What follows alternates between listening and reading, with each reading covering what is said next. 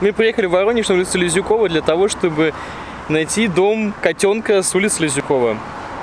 У него в мультфильме был дом номер Один. Один. один. И мы нашли дом номер три. И дома номер один нету. Не надо сюда ездить.